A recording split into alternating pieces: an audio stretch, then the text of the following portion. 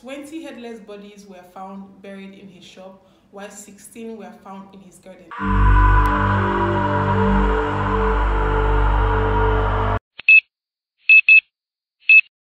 Hello everyone and welcome back to African Crime Story.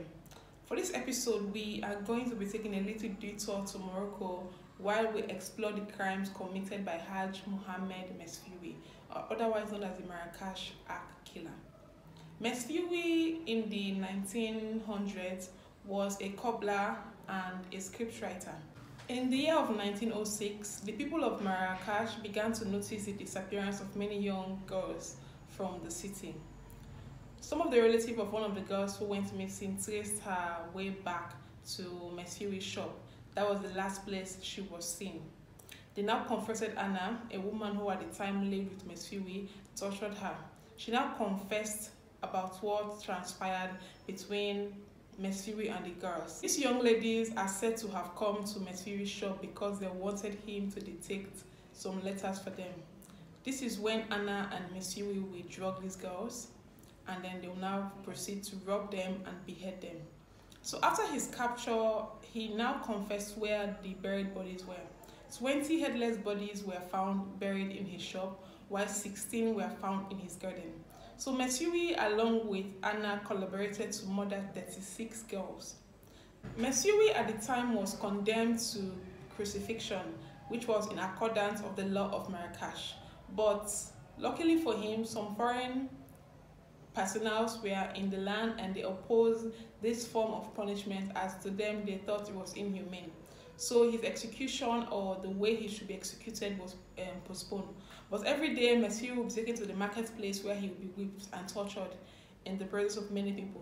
Since he was an old man, he was probably in his 60s at the time of the incidents, he was beaten, but not beaten to the point that he would die.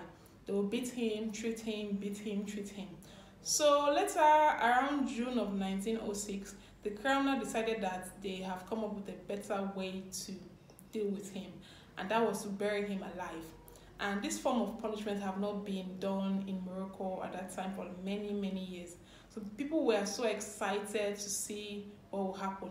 Mesfewi that day did not know his fate. They went to get him. He thought it was his normal morning beatings.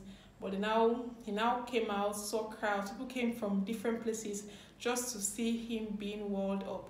So he was now pushed in the tomb. He now begged. He was struggling with the guards. So they were they pushed him into the tomb, and one of the guards even gave him some water and bread. And he was now sealed up and left to die. People gathered around his tomb for days, waiting to hear him take his last breath. On the third day, people that were closer to Mesfewi's tomb said that all they could hear was moan, and a few hours later, they could not hear nothing. So he was dead. Most people grumbled, most people were actually disappointed because they wanted his suffering to be prolonged. They wanted him to suffer for like a week before dying. And after he stopped breathing, everybody went back to their usual business as if nothing happened, as if they've not buried someone alive. So that is the story of the Marrakesh killer in Morocco in the 1900s, Hadj Mohammed Mesfewi. Well, guys, that's all we have for today on African Crime Story. Thank you so much for joining me. Please do not forget to like, subscribe, and follow us on all our social media platforms. See you soon.